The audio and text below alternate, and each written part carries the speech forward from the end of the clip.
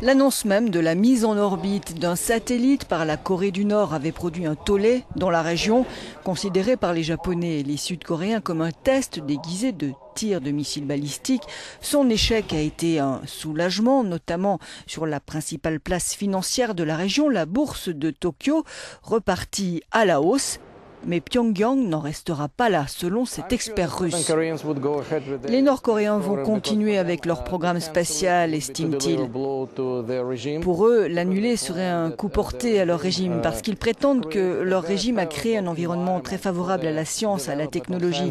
Et s'ils cessaient d'aller maintenant dans l'espace, cela signifierait qu'en fait, ils n'ont pas établi ces conditions favorables au développement de la science et de la technologie. Ils ne peuvent pas annuler pour des raisons idéologiques. Iront de l'avant. Lancement de satellites ou tests balistiques, quoi qu'il en soit, il en va du prestige du régime de Pyongyang.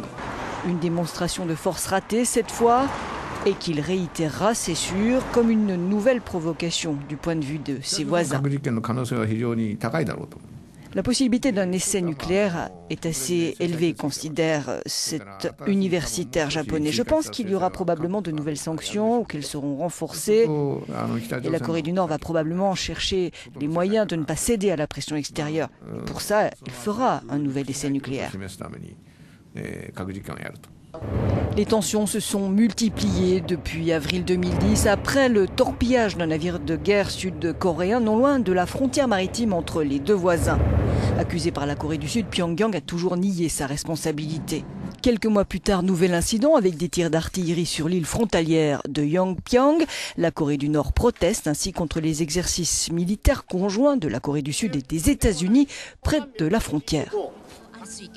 Entre chaque crise, il y a le peu d'espace pour des tentatives de négociation visant à désamorcer la menace nucléaire nord-coréenne, une menace que brandit une Corée du Nord pauvre et aux abois pour prendre du poids face aux grosses puissances économiques qui la cernent.